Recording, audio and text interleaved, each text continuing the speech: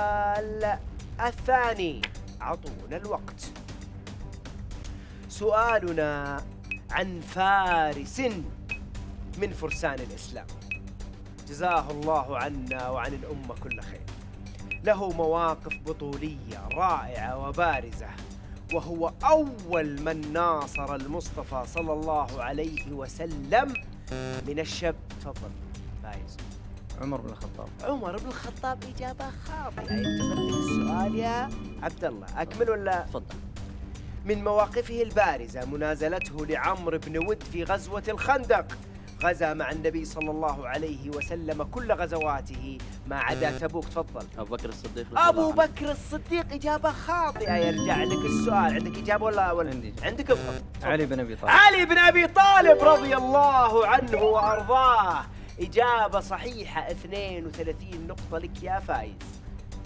لكن ما زال هناك متسع من الوقت والأسئلة. بسم الله. أعطونا الوقت للسؤال الثالث. سؤالنا عن أمر هو صندوق في طياته عجائب مختلفة. كل منها متفرد عن الآخر. كان ظهوره الأول ساحرا مدهشا. ارتبك أمامه الناس. وآخرون تسمروا من السعادة. وجوده اليوم عادي. ليس براقا مثل أيامه الأولى. أصدقكم القول لم يعد صندوقا.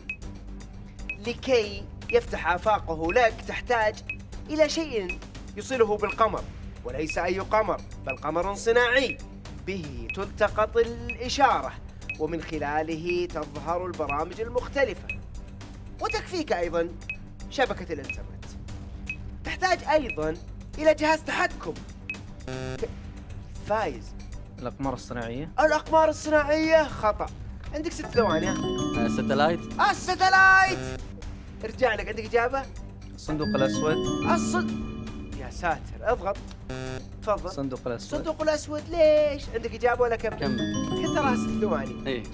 تحتاج إلى جهاز تحكم كي تتمكن من الانتقال بين القنوات. تفضل. تلفزيون. تلفزيون يا صديقي. أنا قلت ستلايت تلفزيون. ثلاث إجابات ثلاث إجابات ثلاث ثواني.